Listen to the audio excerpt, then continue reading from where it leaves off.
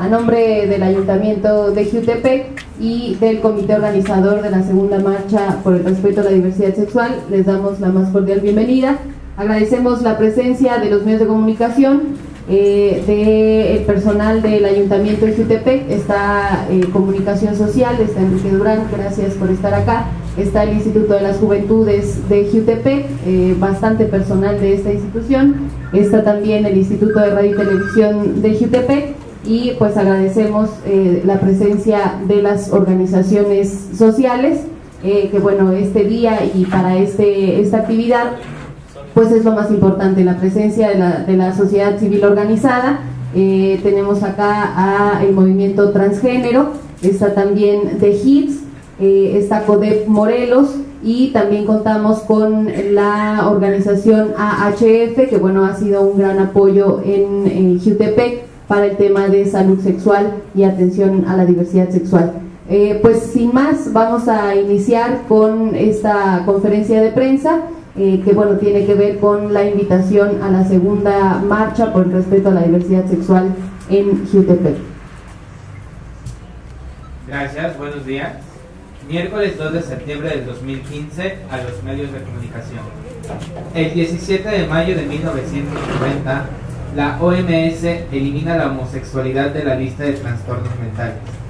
En junio del 2011, la Constitución mexicana pondera los derechos humanos como fundamentales y prohíbe la discriminación motivada por las preferencias sexuales. En junio de 2015, se publica la Cartilla de Derechos de las Víctimas de Discriminación por Orientación Sexual, Identidad o Expresión de Género. Este año, la Suprema Corte de Justicia de la Nación emitió sentencias a favor del matrimonio igualitario y la adopción de hijas e hijos por parejas del mismo sexo en todo el país.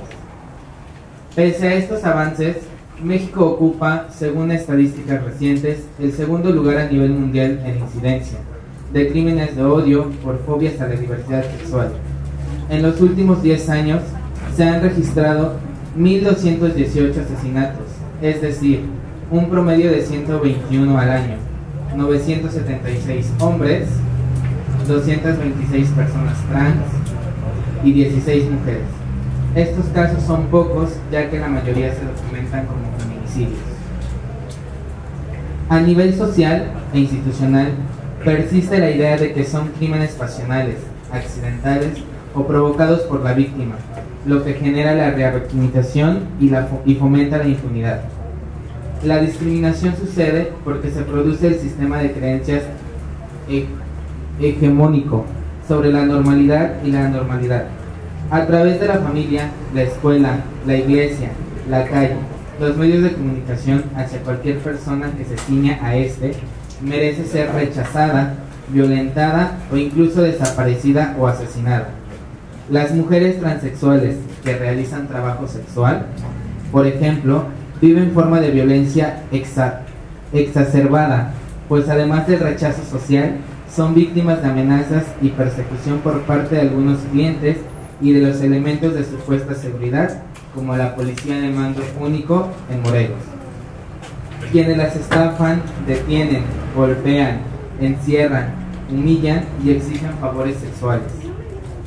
En Jutepec tenemos los casos de Yasmín Vargas, poco después de la primera marcha por el respeto fue asesinada con una escopeta en vía pública en 2014. Algo similar sucedió con Dayanita, años atrás. Joana murió por complicaciones de salud al no acceder a servicios dignos y a tiempo. Los derechos son prerrogativas universales que no pueden ponerse a consideración de criterios personales, pensamientos ideológicos o creencias religiosas por lo que no existe justificación para las acciones u omisiones violentas del Estado. Los gobiernos, los congresos, las instancias de seguridad de justicia, las escuelas públicas, los medios de comunicación deben de asumir la tarea de difundir a la ciudadanía información científica y laica, reeducar a la sociedad para eliminar prejuicios y estereotipos culturales, legislar e implementar políticas públicas y estratégicas eficaces que garanticen la seguridad y la vida digna y cumplir así su obligación de promover, proteger, respetar y garantizar los derechos humanos de todas las personas sin discriminación. Por lo anterior, El comité organizador conformado por Codet Morelos, Movimiento Transgénero, DEGIP y HF México, en conjunto con Ayuntamiento de Jutepec, invitan a todos a sumarse a la defensa de la igualdad, la dignidad y la libertad de todas las personas, participando en la segunda marcha por el respeto a la diversidad sexual en Jutepec, que se realizará el próximo sábado 5 de septiembre en punto de las 4 pm, iniciando el recorrido en el crucero de cementos para finalizar en el Zócalo. En Jutepec, ni un crimen más de odio. Se hace inmediato la persecución de la comunidad trans por parte del mando único. Trato digno y acceso igualitario a la educación, salud, seguridad y trabajo. Justicia para Yasmín, Joana y Dayanita.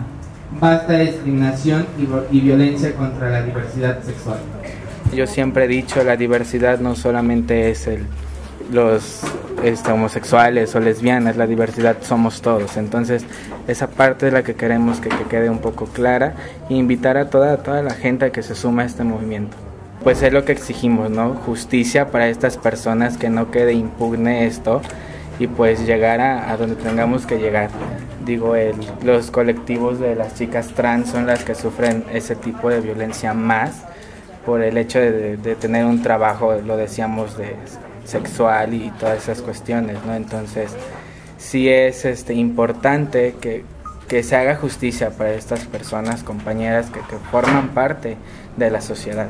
Mando único, pues se supone que está para proteger, ¿no? Y hemos venido sufriendo violencia así cañón de, de, por parte de mando único. Han sido extorsiones, abusos de autoridad por el simple hecho de portar un uniforme sienten que, que pueden llegar a, a, maltratar, humillar o incluso hasta exigir favores sexuales por parte de las chicas trans, que son las más violentadas en este caso.